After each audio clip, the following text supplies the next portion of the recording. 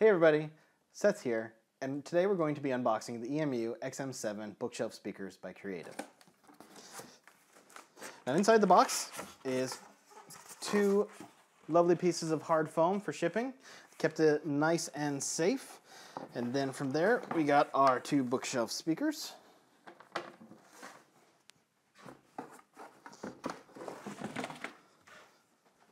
Right here. Other things come in the box. We have our pair of speaker cables. Get two of them. Warranty information and a handy user manual to position that lets helps you position the speakers as well as hook them up to the X7. The speakers themselves are 60 watts. They are rated at 6 ohms of impedance. Uh, so if you do have the X7, do set that to 8 ohms. They each have removable black grills, soft. This is a nice foam.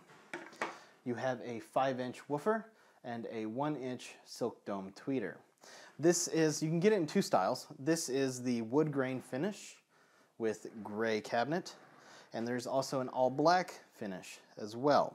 On the back, we have our port and our connectors that are gold plated, and this is a passive speaker. Now the difference between a passive and active speaker is this. Passive speakers need to be powered by a device, be it the X7, your AV receiver, or anything else that has passive speaker inputs. Active speakers usually have their own integrated amplifier, an on-off switch with, and an independent volume knob, and you connect it via a line level uh, input-output port, and it can usually be one or split into both channels left and right. Now these are rather large speakers, coming in at 11.7 inches tall, 6.85 inches wide, and 9.14 inches deep. So make sure when you're placing them that you have plenty of room on your desk. Of note, speaking of desk placement, there is no holes or any kind of you know, key placement to put these on stands.